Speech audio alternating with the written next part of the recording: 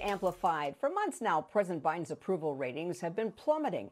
And as of last week, a majority of Americans are not happy with his performance. According to one survey, 51% of respondents disapprove, while 44% give his presidency the thumbs up. This snapshot encompasses all Americans, but what about black Americans? A closer look reveals a lot. Hit Strategies, a market research firm seeking to empower underrepresented people, has been keeping tabs on trends in the black community through its Black Track poll, a monthly subscription based survey.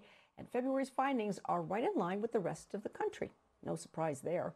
We're here to talk about America's persistent discontent with President Biden and the Democratic Party is Terrance Woodbury, a Democratic pollster and CEO and founding partner of Hit Strategies. Terrance, thank you so much for coming back on Amplified. All right, give us a brief overview of February's Black Track poll. Top line it, if you will. Thank you so much for having me on, Laverne. You know, we are we've been conducting this poll since 2019. It's to keep a really close pulse on what are the, the most loyal voters in the Democratic coalition.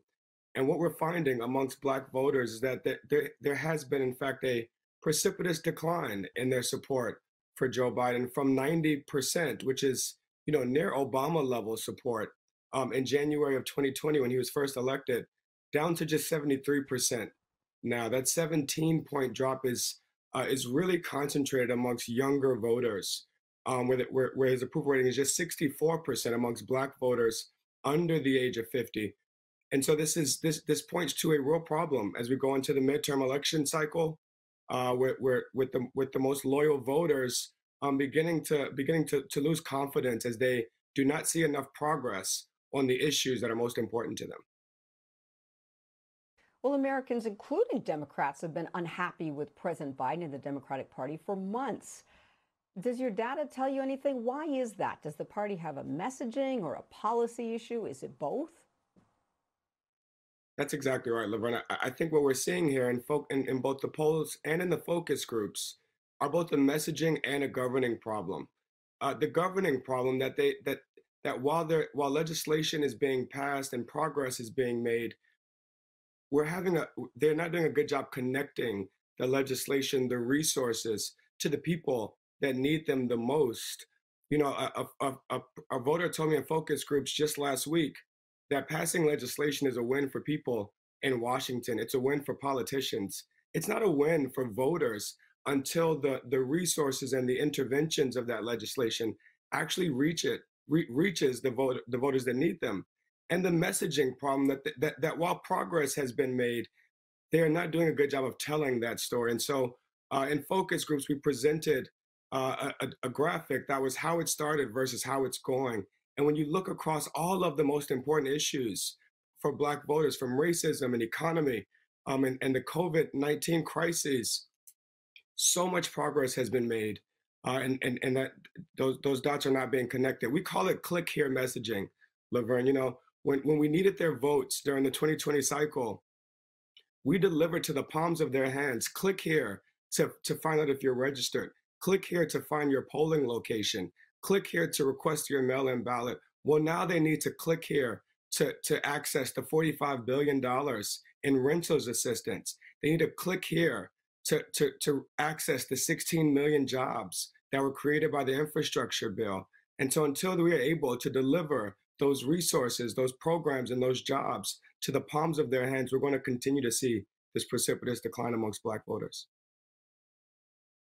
Yeah, and I'm wondering, Terrance, are people paying attention to congressional inaction as well, specifically the legislation that's still on the ropes, like Build Back Better, the George Floyd Act, and the Voting Rights Act? You know, there's a there, there's a, a, a big divide here. When when we look at Black voters, you know, obviously there there are gender uh, gender differences. There's also generational differences, but the biggest difference that we're finding um, is not amongst is, is not amongst age or or even uh, geography or demographics. It, it's those who are paying attention and those who are not. And so, amongst Black voters that are paying attention, a lot of our viewers here tonight, uh, they are frustrated with the uh, stagnation in Congress. They are very frustrated with Senator Manchin and Senator, Senator Sinema, um, the, stalwart Democrats. Uh, and and what I you know, uh, what I what I what I point to as not only the most loyal uh, voters, but when you look at black seniors, you're, you're also talking about the most likely voters. Um, and so they, they, they're paying attention and they're frustrated. But when you look at that other side, the, the less engaged, uh, the, the, the, that cynical group that um, that we were able to surge in 2020, that we were able to to bring into the electorate in 2020, those folks are not paying attention as much. They don't actually care what's happening in Congress. They care what's what's happening at their kitchen tables. They care about uh, about education and their and their and their, their, their students' schools, and that's the part where we have to have to start connecting uh, the the progress and and the resources that are coming out of Washington. Tremendous resources uh, coming out of Washington right now to, to really help people. And for folks that aren't paying attention, they don't know what Congress has passed or what Congress hasn't passed. All they know is what's happening uh, at their kitchen table and, and in their households. Yeah, absolutely. And Terrance, let's also talk about the culture wars because we saw how Republicans were very effective in waging these battles leading up to last November's elections, going after critical race theory, mask and vaccine mandates, policing, those types of things. So, what is the Democratic Party going to do now to counteract the GOP culture war narrative? And, and more importantly, what should they be doing? You know, this is this has become a, a very active debate uh, amongst Democrats is how to respond to racism as a strategy, as it becomes more clear that Republicans are willing and and quite effective at harnessing that racial resentment uh, that that that they will that that what we what we saw in 2020 and what we saw in Virginia just last year is that they are willing uh, willing to, to to yield this uh, this and weaponize uh, race and racism and so I, I, do believe that Democrats have a moral imperative um, but also a strategic imperative to take an aggressively anti-racist uh, approach and and and and um, application uh, to to, the, to this this upcoming election cycle. As the country continues to diversify more rapidly, Democrats' response to overt and explicit racism cannot simply be that we will raise the minimum wage or that we will, you know, create more jobs. We have to create and present an alternative vision of a future uh, uh, of, of an American future where diversity is in fact our strength. And until they lean into that, this is a part of what we're seeing with this frustration amongst black voters who, you know, I, I remind a lot of the Democrats that we work with, the summer of unrest, the summer of 2020, this wasn't the civil rights movement. This wasn't 50 or 60 years ago. The young people that took to the streets in protest after George Floyd's murder in every state, in all 50 states, we saw young people taking to the streets. Those are the voters that are paying attention. And for many of those voters, they are single issue voters, and their single issue is racism. And Democrats are going to have to uh, have to have a response to, to, to what we're seeing come out of the Republican Party. And also, the Democratic Congressional Campaign Committee, they issued an internal report that warned against the dangers of not being forceful against the GOP's attacks as they engage in virtue signaling. Can you talk about those warnings, Terrance, and how they advise Democrats to fight back on certain issues? Absolutely. So I was a part of this poll uh, for the with the DCCC, and in transparency, we are a DCCC pollster. And what what what they recommend is to is to take an an assertively uh, um, uh, opposi- assertively, I'm sorry, assert their opposition uh, to some of these to some of these racial uh, and and culture war issues. Uh, but you know, I, I think that we're going to have to take a different approach here.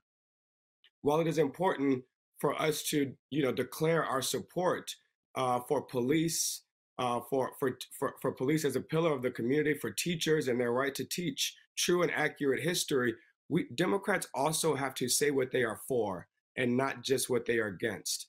Um, and and I, I think they can hmm. lean into some of these issues where, in fact, uh, there is a majority of support, majority uh, of Americans, not just Democrats, uh, support reforming the police to make them uh, to improve the relationship between police and communities of color.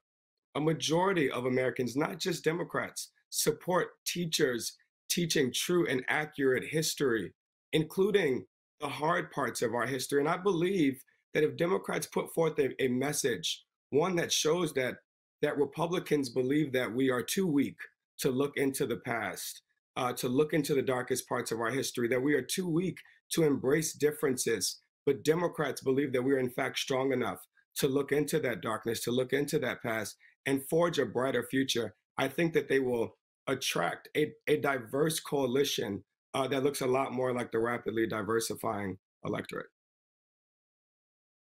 Well, here we are now with the 2022 midterms looming. So, what then should Dems be laser focused on?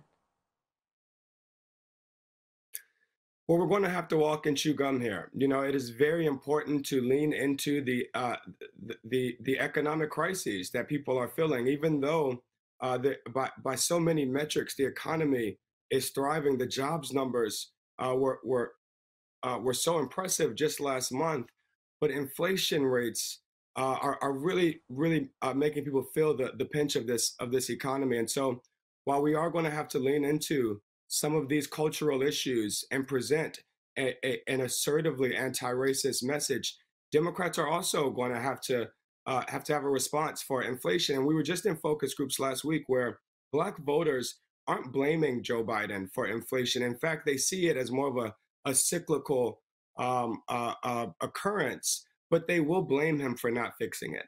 They do expect him to have a response for it. And so uh, the, the clock is ticking because every Democrat on the ballot is going to be is going to have to answer uh, to to these numbers that we're seeing in, in in our latest black track. That while Joe Biden is not on the ballot, his approval rating is certainly on the ballot next to many of the Democrats up and down the ticket. Yeah, clock is ticking. Thank you so much, Terrance Woodbury, Democratic pollster and co founder at Hit Strategies. Thank you so much for coming on tonight. Appreciate it.